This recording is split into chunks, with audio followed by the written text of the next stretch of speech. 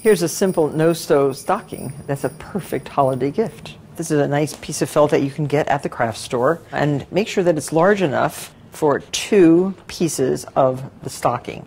And trace on the felt, cut out around. Now one is slightly smaller than the other because you'll get a cleaner cut once you glue the two together. So put a bead of your fabric glue along the very outer edge and then apply this right on top of the other cutout.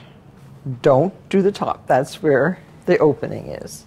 Once dry, you can cut all the way around and you will have a very clean, nice edge. Now the pretty part of this stocking is the coffee filter ruffle around the top. Fold coffee filters into thirds like this. Now draw a little line of glue like that. And from inside out, just like that.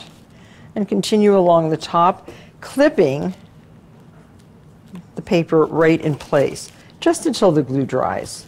And then slip in your coffee. A very charming way to give a Starbucks Christmas blend.